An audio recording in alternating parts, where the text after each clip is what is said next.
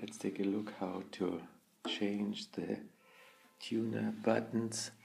You can see these have disintegrated. You can buy these. You can see here this hole and all you need is a light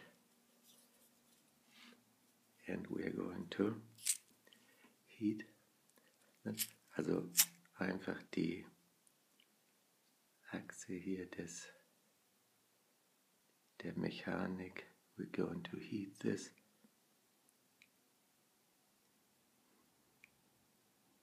It's simpler.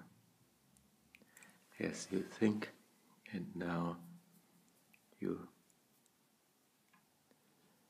push this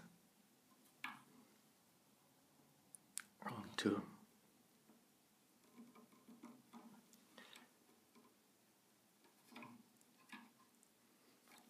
and another of the tuners has got its new button.